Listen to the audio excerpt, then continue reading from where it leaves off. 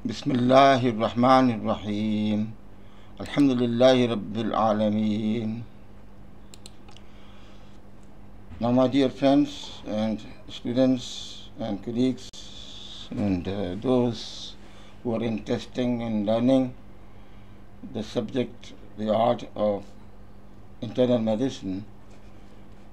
Now, the, actually, I was taking previously the infectious diseases because of the I was busy in the CPSP schedule work, and that I was not able to upload the videos. Last time, actually, I was uh, talking about the in the in the context of the infectious diseases. That now I will I want to describe mycology, that is the fungal infections. Because fungal infections, they have got a lot of dermatological manifestations, and they are some of the sign kion of the disease. So one has to understand the basic dermatological uh, dermatology terminologies, lesions, etc. I am Professor Syed Ali Azhar. I am honorary global professor of medicine without gaining any name or fame or economics. This channel is free for all. Although people are not interested. People are not interested. But I will go and uh, through the my uh, tutorials. now, thing is this: why dermatology is important, and that is what the, what I, why why we are discussing dermatology. And this is the important point. Can you answer this question? If you are able to answer, you can go to the WhatsApp channel and uh, to, to my channel and answer it. Otherwise, I will answer it. Now, first of all, the case presentation. To see the, what is importance of this is this is Mrs. C. H. Sheikha. His age, her age was 85 years. She was residing in Tharparkar district, and she, her age was uh, 85 years. She is definitely female, and uh, she was uh, admitted in the uh, Hyderabad uh, hospital, government hospital Hyderabad, and in the section of the dermatological and venereal units, venereal diseases. That she was complaining of history of the fluid-filled lesions all over the body, fluid-filled lesions. Since about four to five or, or 20 days back, starting in the five days and it is, uh, it is covering a whole body in 20, day, 20 days. The history of the presenting illness is that the patient was apparently asymptomatic 20 days back. Then she developed swelling over the face with erythema, which gradually spread to the lower limbs and oral mucosa. Some of the blisters ruptures with minimal trauma and developed erosions in surface are opened. The patient history that patient had taken treatment from outside, which instead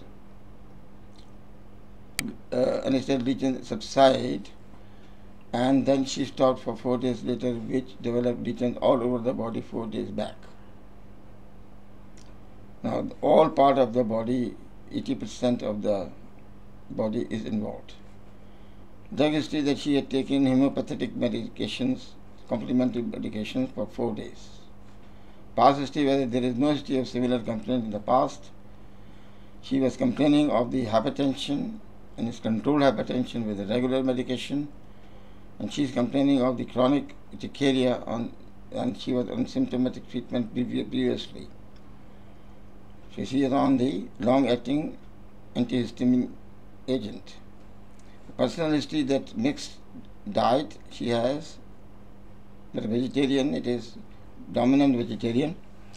Her sleep was and appetite are normal in the age of 85 years. Now, presentation is that the patient is conscious level is okay. She is uh, any other things which is noted about her. She is not uh, looking anemic, etc. She is afebrile and uh, there was a the pulse is 72 net BP is 130 by 90, pedal edema positive, hemoglobin 13.5 gram, WBC is 3200, neutrophils is 67%, lymphocyte 28%, monocyte 0, 3%, eosinophil 2%. Platelets are marked platelets, means that it is, it is increased platelets. There is thrombocytosis, about 450,000 about. That indicates that what is the lesions are definitely has got a content of inflammation and it is acute phase reactant. And this is maybe the possibility that the platelets are increased. The BP is normal. Normal, at, I already said that, and uh, the slide which is showed is normocytic normochromic type of a picture in the blood CBC. ESR is only 15 is written here. The random blood sugar 168 and uh, urea 24, creatinine is 0.8, electrolyte sodium was 131 is lower down slightly, potassium is 4.4 and serum total bilirubin is 0.9. I will only ask one question here, why this sodium which is actually 135, 136 normal, it is down to 131. Answer it, try to answer it in the WhatsApp uh, my channel if you want to you are interested and then answer it. And cutaneous examination or the skin examination that multiple fluid filled blisters present over both lower limbs and trunk. They are intermixed with the multiple round to oral plaques with central hyperpigmentation. These are terminologies you see and surrounding erythema. These are the terminologies which we are using in description of a dermatological lesion. The large blisters present all over the right hand, left forearm, palms and soles, blisters present. All blisters present. Other, uh, other parts. So it means that it is a, a bullous type of a blisters. Now oral mucosa is hyperpigmented. Heel lesions are seen hyperpigmented, but heel lesions are seen. And Nikolsky sign was negative. I mean, Nicola sign is the sign. Can you answer this question? What is Nikolsky sign? At one time, it was a very important, uh, you know, phys- in physical examination, it was very important Nikolsky sign. To answer this question, if a Nikolsky sign, without seeing the uh, Google engine, try to answer Nikolsky sign. Now these were the position of the patient that this see the blisters are present, bullous eruptions are seen. It is a bullous type of eruptions. It is a big vesicle, it is bullous, blisters, you can see like this, and hyperpigmentation around the area. The, the area of the skin between the two lesions is normal. There is no erythema seen. So they are plaques. Means plaques means that two regions are near to each other, but the surrounding skin or inter-regional skin is normal. Skin biopsy was done at last, definitely. Although clinically it was the differential diagnosis should be made. And the result revealed that the section revealed the skin showing the acantholysis causing the separation of the epidermal layers, causing the bullous formation. Now this is the, the, the, the, the very, very characteristic feature of the lesion. While the suprabasal blister contains the uh, acantholytic cells, neutrophils, and eosinophils, and the dermal papillae are lined by the single layer of the basal keratinocytes, so-called villi. There are dense collection of the lymphocytes, mononuclear cells, and eosinophils forming groups in the superficial layers of the dermis. and adnexa appears normal, suggestive of the pemphigus vulgaris. And this is the diagnostic of histopathology. Clinical diagnosis, differential diagnosis. There are a lot of other conditions in which the vesico-bullous eruption occurs in the body. We will discuss it afterwards. But the thing is, the histopathology is the answer here, the pemphigus vulgaris. Now, how this is this is presented in front of you, and see there are a lot of terminologies I have just telling you the terminologies, extracting the extracting the terminologies from this history. So why dermatology is integral part of the internal medicine. For those who are only interested in the examination, this is one of the important part of dermatology, which is about, comprises about 20% or 25% in some cases in MRCP part 2 examination. Part 1 also, and part 2 is very important. And part 2, definitely there are difficult questions which are commonly seen in the Europe and they are asking that's why. Because you have to diagnose it first and then refer to the dermatology. So it is integral part of internal medicine. Otherwise you cannot pass this examination. So please go for it. In, even in the cases of step examination in America, they are also asking the important dermatological manifestations they are asking in the examinations. The importance of dermatology, eh, this is definitely important for those who are preparing the examination, but actually the importance of dermatology is that dermatology is a specialization that focuses on the studying, researching, diagnosing and managing the health of the skin, scalp, hair and nails. So all vestigial derivatives of the ectodermal derivatives of hair. The skin is the largest organ in the body, and as a result, dermatology seeks to ensure that everything literally skip deep continues to function properly. Skin deep. So all if your skin is healthy, definitely you are in healthy state. If your skin is diseased, it means you are not in the healthy state. Although many consider dermatology a field that focuses solely on the treatment of acne, that is simply not the case because acne is very, very common in the most part of the world. They are not acnologists, they are dermatologists. So, given the vast number of the issues that can arise in the largest organ of the body, it is skin, dermatology has considerable breadth and depth in order to meet the wide variety of the patient needs. And that is the importance. Other importance is this that the over you, you will see in this dermatology that the overcome acne as a teenager adult, they usually come to you, treat the eczema or psoriasis, examine the skin spots, receive the skin cancer screening is important in European countries, treat nail disorders, there are a lot of disorders, spot early signs of more serious disease based on the nail health, address the hair loss, and treat the scars. The dermatological manifestations of the internal, this is very important as the, as internal is concerned. There, there are certain internal diseases, systemic diseases reflect on the skin, what we call as the peripheral stigmata of the disease. For example, in case of the chronic liver disease, you find be clubbing, you find there is palmar erythema, you find these are the important points as dermatology is concerned. You find in these cases the spider nevi, which are in the in the skin, of course.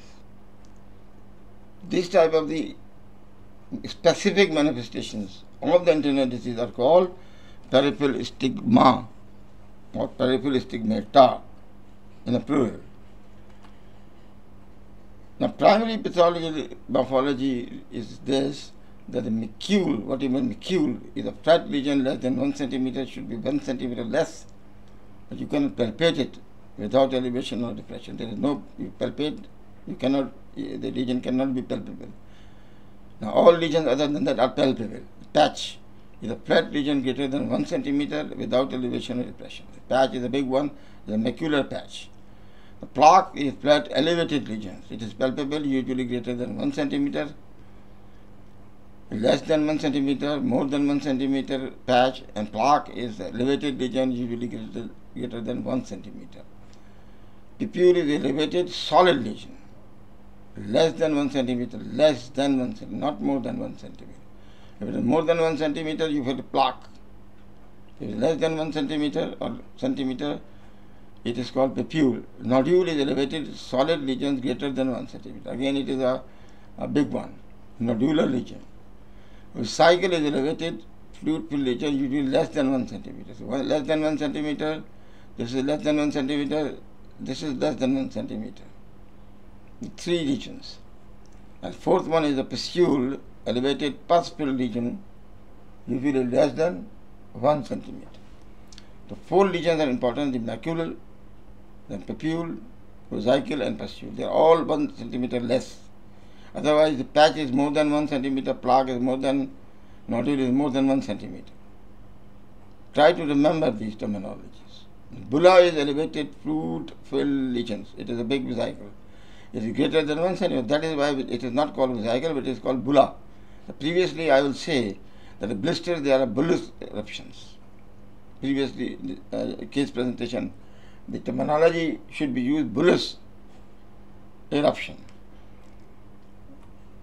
Now here the macule, in, they are now there there are other terminologies mixed with them. These are the basic terminologies, other terminologies with macule.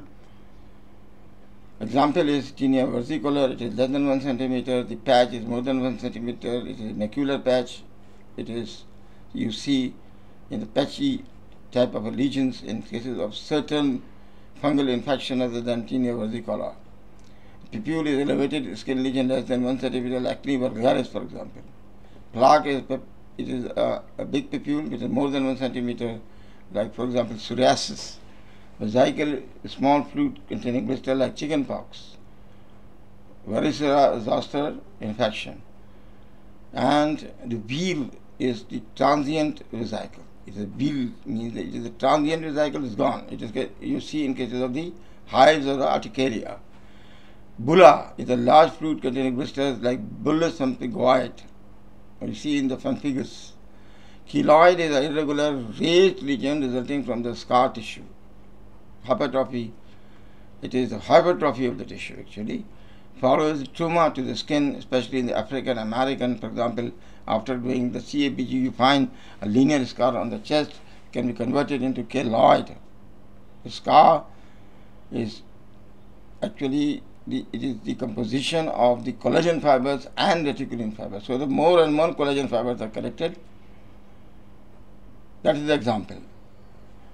Yaws, you will see the keloid. A lot of keloid lesion is, is the treponema uh, pertenue region, the yaws. Previously discussed, I discussed this condition. Pustular blister containing pus, like for the impetigo contagiosa, crusty lesions cluster form, direct exudates from the vesicle or bulla or pustule. It is this secondary uh, change you see in case of the vesicle or the bulla or the pustule. Hyperkeratosis is increased thickness of the stratum corneum, like psoriasis. It is called hyperkeratosis, the black, uh, brown, uh, you know, thickness on the skin. And parakeratosis is the hyperkeratosis. It is hyperkeratosis with retention of the nuclei in the stratum corneum, psoriasis, and it is the histopathological terminology. And acantholysis or separation of epidermal cells.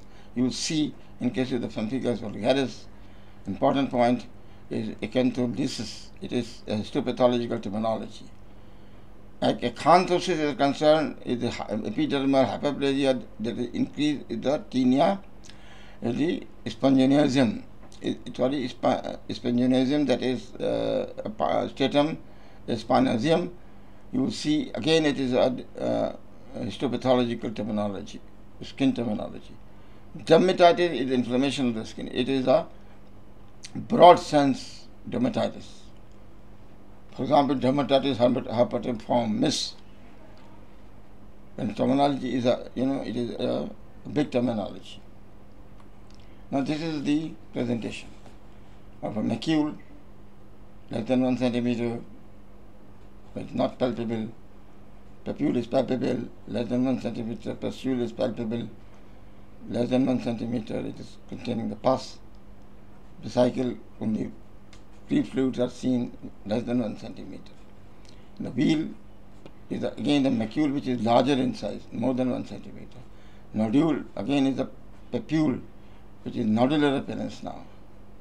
Pustule, the vesicle is seen. The fissure is a part of the skin which is seen just like a, you know, there is a, it is a linear type of a induration. Erosion, where the skin, is, some part of the skin is lost. Ulcer or the clear cut margins are seen. The base. Excoriation means that some part is, is gone with, with inflammation or else. Lichenification is the thickening of the skin by rubbing and keloid is the hypertrophy of the scar. These are terminologies one has to understand the macule and wheal and these things. The plaque.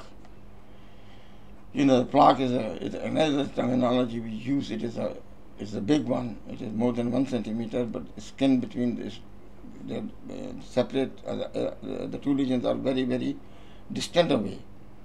Or bulla is like the same thing you find crust, you find scale formation. These terminologies are intermingled terminology. Crusting, scaling, and bulla. Bulla is a big, uh, you know, uh, uh, cycle, you can see. Here it is more elaborated is, is a bulla. This is a bulla.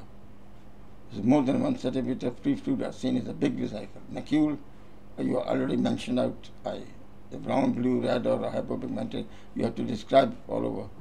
Nodule is a circular elevated solid lesion. This one is a nodular lesion.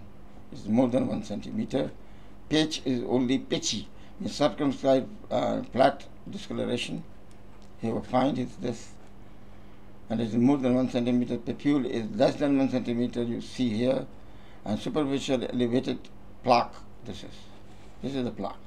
It is more than 1 centimeter, other more than 2 centimeter.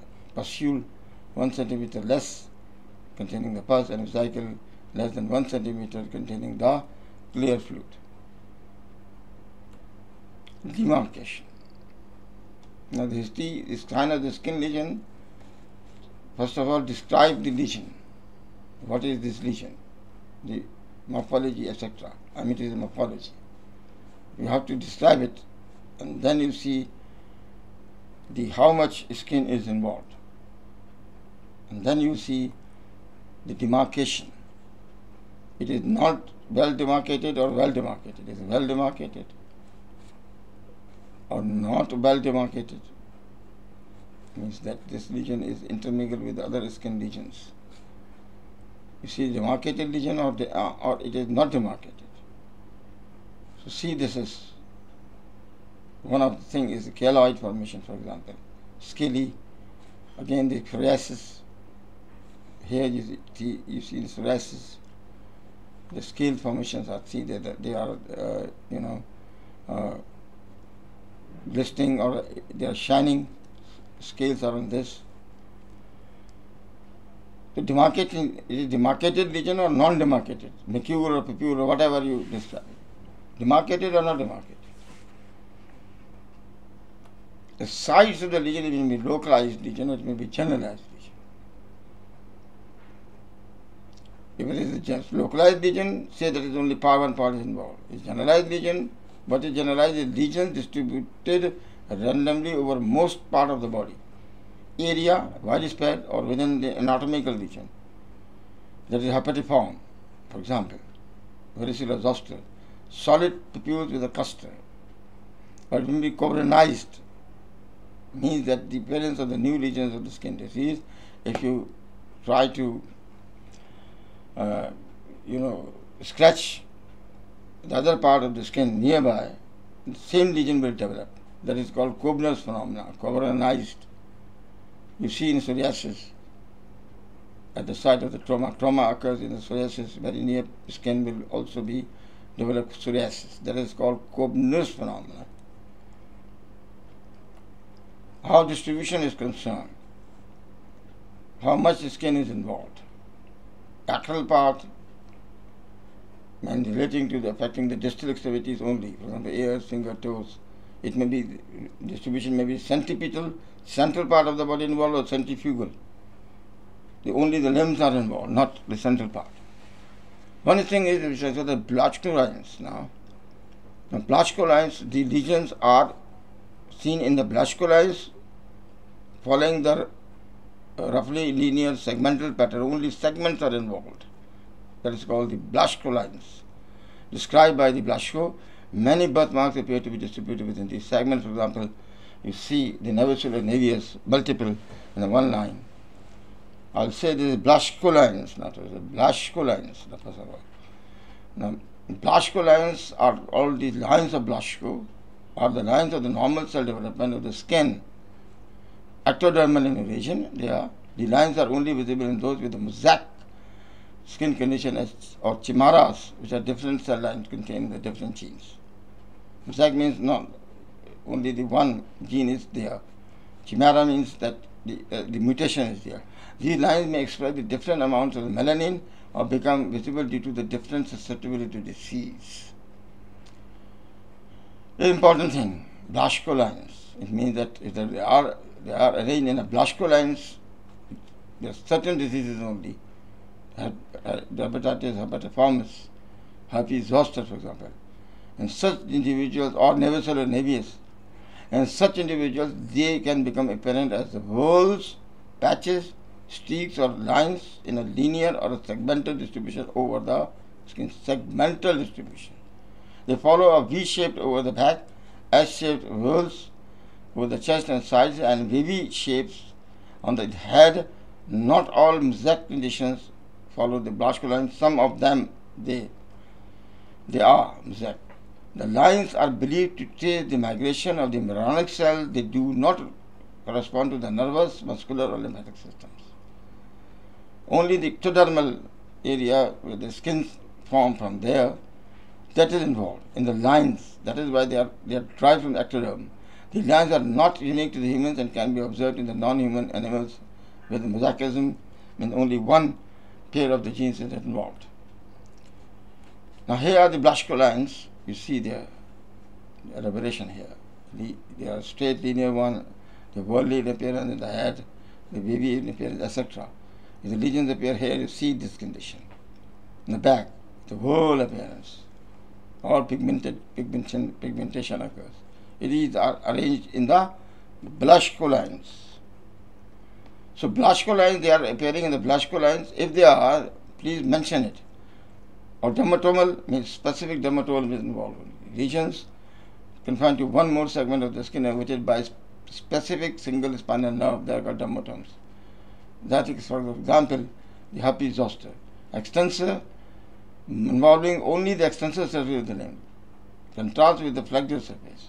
Flexural related to the flexion or skin folds, such as the backs of the knees, the armpits, the elbow crease, and the groin.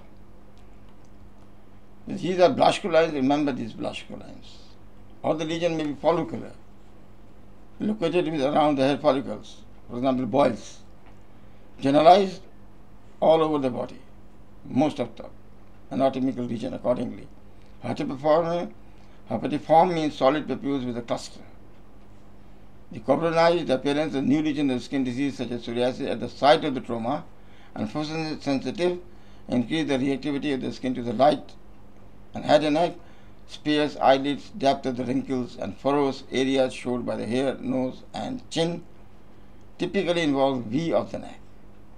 Again is the Blaschko lines. Here is the importance of it. If the lesion appear like this,